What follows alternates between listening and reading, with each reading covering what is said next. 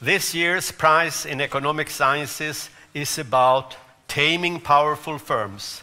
The Royal Swedish Academy of Sciences has decided to award the Sveriges Riksbank Prize in Economic Sciences in memory of Alfred Nobel 2014 to Professor Jean Tirole, Toulouse 1 Capital University, France, for his analysis of market power and regulation.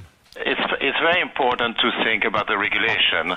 Um, regulation, and this is a theme that I've been developing with many other colleagues, of course, it's not only me, um, is a complex subject because it has to be light enough so that it doesn't kill entrepreneurship and you know gives rise to to a lot of uh, efficiency. But at the same time, you need to have a strong state which is going to enforce uh, those regulations. Oh, so uh, Jean Tirole is really trying to understand um, what are uh, what is it that drives the owners of banks? What are their objectives?